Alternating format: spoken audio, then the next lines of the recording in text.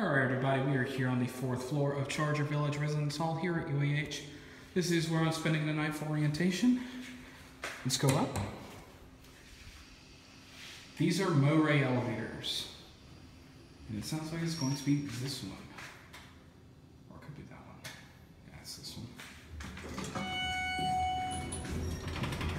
Ladder does not work. Let's go to five.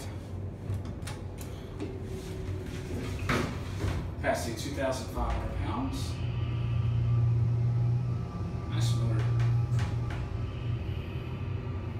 Buttons already coming out.